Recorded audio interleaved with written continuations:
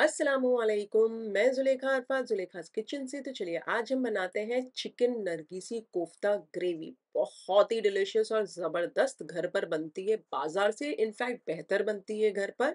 मैं आपको एक तोड़कर भी पीस भी बता देती हूँ कि कैसी टेस्ट में तो इतनी मज़ेदार है, लेकिन ये देखिए, कितनी सॉफ्ट है, माशाल्लाह, और बहुत ही डिलीशियस है। तो चलिए, शुरू करते हैं आज की रेसिपी। साधारण, यानी ऑर्डनरी इंग्रेडिएंट से एक्स्ट्रा ऑर्डनरी डिश बनाते हैं आज की। चलिए। वैसे मैंने कोफ्ता ग्रेवी भी बनाई है, चिकन की लिंक डिस्क्रिप्शन के अंदर है, आप वहाँ चेक कर लीजिएगा। तो चलिए शुरू करते हैं। एक चॉपर के अंदर आधा किलो चिकन का कीमा डालिए। कीमा यहाँ स्पेसिफिकली बहुत अच्छे से धोकर आधा पौना घंटा मैंने छन्नी के ऊपर ही रख दिया था। इसका मतलब बहुत अच्छे से नितर गया था। उसके बाद भी मैंने हल्का हल्का स्क्वीज करके डाला है। मेरा मतलब ये है कि मॉइस्चर नहीं होना चाहिए कीमे में ज़्यादा। एक प्याज मीडियम साइज़ की मोटा मोटा काट कर डाल दीजिए। मैं दो हरी मिर्चियाँ डाल रही हूँ। आप अपने स्वाद अनुसार तीन से चार डाल सकते हैं। एक मुट्ठी फ्राइड ऑनियंस यानी कि बिरिस्ता भी डाल दीजिए। नमक स्वाद अनुसार डालिए या फिर मेरी तरह मैं एक छोटा चाय का चम्मच डाल रही हूँ। वन फोर्थ या आधा छोटा चाय का चम्मच हल्दी पाउडर, एक छोटा चाय का चम्मच कश्मीरी लाल मिर्च पाउडर, आधा छोटा चाय का चम्मच भुना पीसा जीरा पाउडर, आधा छोटा चाय का चम्मच गरम मसाला पाउडर आधा छोटा चाय का चम्मच या वन फोर्थ छोटा चाय का चम्मच चाट मसाला। मैं वन फोर्थ छोटा चाय का चम्मच डाल रही हूँ। एक टेबल स्पून अदरक लहसन का पेस्ट डाल दीजिए। चार टेबल स्पून यहाँ पर मैं बेसन डाल रही हूँ। आप चाहें तो भून कर बेसन को डाल सकते हैं। थोड़ा सा तवे पर भून लीजिएगा। चार टेबल स्पून और एक टेबल स्पून मैं भर कर असली घी का डाल रही हूँ, क्योंकि चिकनाहट नहीं होती है हमारी ये चिकन के अंदर, इसके लिए, उसके लिए डाल रही हूँ मैं। आप चाहें तो घी भी डाल सकते हैं या तेल भी डाल सकते हैं। बहुत अच्छे से इसे ब्लेंड कर लीजिए ढाक कर ये देखिए, इस कदर और इसे अब ब्लेंड हो जाए तो एक बड़ी सी प्लेट में निकाल लीजिए। थोड़ा सा कोथमीर, यानी कि हरा धनिया बारीक काट कर डाल दीजिए और उसे भी डालकर मिक्स कर लीजिए चिकन के मिक्सचर के साथ। चलिए अब हम नरगिसी कोफ्ते बना लेते हैं। वैसे ये हैं छह बॉईल करे हुए अंडे बट आप आठ ले सकते हो क्योंकि आठ आराम से बन जाएँगे। मैं छह बना रही हूँ नरगिसी कोफ्ते और बाकी के सिर्फ़ कोफ्ते टाइप ही उसे शेप दे दूँगी। तो चलिए सबसे पहले एक अच्छा सा मीडियम मिक्सचर लीजिए चिकन का। इस तरीके से हाथों के अंदर बीच में रखकर फ्लैट करते जाइए। बीच में आप अंडा डाल दीजिए, ये पूरा साबित बॉईल करा हुआ और इसे बहुत अच्छे से बंद कर दीजिए और ये बन गया हमारा चिकन नरगिसी कोफ्ता तो ये बनाकर आप साइड पर रख दीजिए, इसी तरीके से सारे बना लीजिए। थोड़ा सा तेल से हाथों को ग्रीस कीजिएगा और फिर बनाइएगा तो और बेटर बनेंगे। चलिए, मैं सारे बना ली हूँ कोफ्ते। आप देख सकते हैं, छह प्रॉपर मेरे ये निकले हैं। मैंने छह ही अंडे बनाए थे, बॉईल किए थे तो छह नरगिसी कोफ्ते और दो मैंने नॉर्मल कबाब टाइप बना लिए हैं। चलिए, अब एक कढ़ाई या पतीली के अंदर अच्छे से ज़्यादा तेल डालिए, तेल अच्छा फास्ट आँच पर गरम कर लीजिए अच्छा गरम हो जाए तो हमारे नरगिसी कोफ्ते डालते जाएँ। एक साथ सारे मत डालिएगा, दो तीन एट अ टाइम डालें और इसे फ्राई कर लें। ये देखिए, ऐसे। और चारों ओर से जब लाइट गोल्डन ब्राउन हो जाए हमारे कोफ्ते तो इन्हें निकाल कर नितार कर साइड पर रख दीजिए। इसी तरीके से बैचेस में फ्राई कर लीजिए। संभाल कर कीजिएगा, हल्के हाथ से करने आपको एकदम। मैं एक एक दो दो डालकर इन्हें फ्राई कर कर साइड पर रखती जा रही हूँ जब लाइट गोल्डन ब्राउन होए तक। आप देख सकते हैं, बिल्कुल भी फूटे नहीं अगर आप मेरी ये बताए हुए एग्जैक्ट मेज़रमेंट और एग्जैक्ट रेसिपी से बनाएँगे तो डेफिनेटली इंशाल्लाह बिल्कुल भी नहीं फूटेंगे। अब इन्हें साइड पर रख दीजिए सारों को और यही सेम तेल के अंदर दो मीडियम साइज़ की प्याज डाल दीजिए और इसका बिरस्ता बना लीजिए। मतलब इसे बार बार चलाते हुए फास्ट आँच पर लाइट गोल्डन ब्राउन हुए बस वही तक उसे फ्राई करना है और उन्हें जब लाइट गोल्डन ब्राउन इस कदर हो तो आप इन्हें दूसरे छन्नी या चम्मच की मदद से इस तरीके से प्रेस करें और निकाल कर साइड पर रखते जाएँ। ज़्यादा डार्क मत कीजिएगा जब आप बाहर निकालें तो क्योंकि फिर वो कड़वा हो जाएगा हमारा सालन। अगर हम ज़्यादा डार्क करी हुई प्याज डालेंगे तो हमारे सालन के अंदर। जब लाइट गोल्डन ब्राउन हो तभी ही निकालिएगा, क्योंकि बाहर आके वो खुद ब खुद भी पकती है। अच्छा अब यही सेम कढ़ाई के अंदर से मैंने तेल थोड़ा निकाल दिया। अब इसमें थोड़े से मैं गरम मसाले डाल देती हूँ।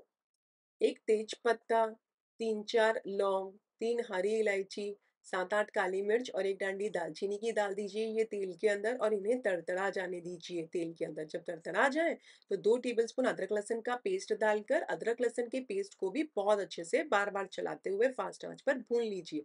तब तक भूनिए जब तक इसके कच्चेपन की खुशबू नहीं चली जाती। जब कच्चापन चला जाए तो यहाँ पर मैंने दो मीडियम साइज़ की प्याज को पीस लिया है। हल्का सा मैंने पानी डाला था पीसने के टाइम पे और इसमें डाल दीजिए और इसे भी फास्ट आँच पर प्याज को बार बार चलाते हुए दो तीन मिनट तक फास्ट आँच पर फ्राई कर लें। चलिए जब दो तीन मिनट हो जाए प्याज को भून कर तो यहाँ चूल्हा में कर देती हूँ स्लो और एक छोटे चाय का चम्मच नमक डाल दीजिए, आधा छोटे चाय का चम्मच हल्दी पाउडर, चार छोटे चाय के चम्मच धनिया पाउडर दो छोटे चाय का चम्मच भरकर कश्मीरी लाल मिर्च पाउडर अगर आपका स्पाइसी हो तो कम डालिएगा। इसमें मैं अब वन फोर्थ कप जितना पानी डाल देती हूँ, चूल्हा मैं फास्ट आँच पर कर दी हूँ और इसे एक बार चला लीजिए और हल्का उबाल आ जाता है तो स्लो आँच करके ढाक कर इसे दम पर पकने दीजिए तब तक पकाएँ जब तक मसाले भून नहीं जाते और तेल नहीं छूट जाता। अब जब तक ये प्याज है ना, इसे मैं थोड़ा सा पीस लेती हूँ। चलिए, तकरीबन 2-3 मिनट हो चुके हैं, आप देख सकते हैं, तेल छूट चुका है तो मसाला अच्छे से भून चुका है, एक बार चला लीजिए, जब अच्छा चला लें तो 200 ग्राम दही डाल दीजिए, नॉर्मल टेम्परेचर पे है, चूल्हा मीडियम आँच या फास्ट आँच कर दीजिए, मैंने मीडियम किया है, और इसे बार बार चलाते हुए दही डालने के बाद, इसे भून लीजिए। समझिए ना, इसे भी दो तीन मिनट तक भूनना है या तब तक भूनिए जब तक तेल नहीं छूट जाता, चूल्हा मीडियम पर रखा है और तब तक भूनिए जब तक तेल नहीं छूट जाता और इस कदर आप देखेंगे कि मसाला और ये जो दही है, ये एक भून नहीं जाती है एक साथ तब तक। अब आप देख सकते हैं तेल छूट चुका है तो यहाँ पर मैं ये जो बिरिस्ता रखी थी, इसे भी मैंने पीस लिया है थोड़ा सा और ये पिसा हुआ बिरिस्ता डाल दीजिए। इसे एक बार मैं चला लेती हूँ और स्लो आँच कर लीजिए और इसे ढक कर दो तीन मिनट तक इसी तरीके से दम पर पकने दीजिए। ये देखिए हमारे फ्राई करे हुए कोफ्ते कितने बढ़िया लग रहे हैं ना, अब हम इसे डालेंगे ग्रेवी के अंदर। चलिए, अच्छे से भून चुका है, ये आप देख सकते हैं तेल बहुत अच्छे से छूट चुका है, सारी चीज़ें भुना गई हैं। तो अब ये जो हमने साइड पर कोफ्ते फ्राई करे हुए रखे हैं, ये डाल दीजिए बिस्मिल्लाहिर्रहमानिर्रहीम बोलकर और इसे मीडियम आँच पर एक दो मिनट तक फ्राई कीजिए। थोड़ा मसाले के अंदर भी तो कोफ्ते फ्राई होने चाहिए ना। तो इसे फ्राई कर लीजिए एक दो मिनट तक। जब एक दो मिनट हो जाए तो अब यहाँ पर ग्रेवी का ये जो है, वो आपके ऊपर है। आपको कम ग्रेवी चाहिए तो आप आधा पौना कप पानी डालिए। मेरी तरह थोड़ी सी ज़्यादा ग्रेवी खाते हैं तो यहाँ पर मैं डेढ़ कप पानी डाल रही हूँ। जब अच्छा सा ये दो तीन मिनट हो जाते हैं तो डेढ़ कप पानी डाल देती हूँ और इसे फास्ट आँच करके इसमें उबाल आ जाने देती हूँ। नमक चख लीजिए, अगर कम लगे तो नमक एडजस्ट कर लीजिएगा। मेरा नमक परफेक्ट है तो मैंने कुछ किया नहीं है। अब अच्छा उबाल आ जाए तो स्लो आँच करके इसे ढक कर तकरीबन 15-16 मिनट तक दम पर पकने दीजिए। सो दैट हमारा ये जो कोफ्ते है, ये प्रॉपरली गले नहीं है। हमने हल्का उसे फ्राई कर लिया है तो अभी पंद्रह मिनट में वो अच्छे गल जाएँगे। चलिए 15 मिनट हो चुके हैं, अच्छे से कोफ्ते पक चुके हैं। अब यहाँ पर मैं आधा छोटा चाय का चम्मच गरम मसाला पाउडर डाल रही हूँ। खूब सारी बारीक कटी हुई कोतमीर यानी कि हरा धनिया डाल दीजिए। एक बार चला लीजिए और चूल्हे को कर दीजिए बंद। तो ये बन गया हमारा बढ़िया सा लजीज, डिलिशियस चिकन कोफ्ता, यानी कि नरगिसी कोफ्ता करी। बहुत ही मज़ेदार और झटपट बनता है। आप इसे सबसे पहले तो प्याले में निकाल लीजिए और गर्मा गर्म सर्व कीजिए। ये देखिए, मैं एक आपको तोड़ के भी दिखा देती हूँ, क्या बढ़िया खूबसूरत भी कितने दिख रहे हैं और बहुत सॉफ्ट भी है हाँ। थोड़ी सी मैं सर्विंग के टाइम पे कोथमीर यानी कि हरा धनिया डाल देती हूँ, आप इसे रोटी, पराठा, फुल्का, बटर नान किसी के भी साथ सर्व कर रहे हैं, वैसे इनमें से कुछ की रेसिपी लिंक्स आप लोगों के लिए डिस्क्रिप्शन के अंदर है, आप वहाँ चेक कर लीजिएगा। वैसे रेसिपी में हरी मिर्चियाँ और लाल मिर्ची का पाउडर अपने स्वाद अनुसार डालिएगा, स्पाइस अपने हिसाब से डालिएगा, मैं आपको देखिए बता देती हूँ, तोड़कर भी यहाँ पर फिर से कितनी आसानी से टूट गया आप देख सकते हैं। तो बहुत ही सॉफ्ट और बहुत ही डिलिशियस है और खाने में तो इतना लाजवाब है ना कि आप उंगलियाँ चाटते रह जाओगे आप देख सकते हो कितना सॉफ्ट है ये, माशाल्लाह। तो ज़रूर बनाइएगा, आई एम श्योर आपको अच्छी लगेगी ये रेसिपी।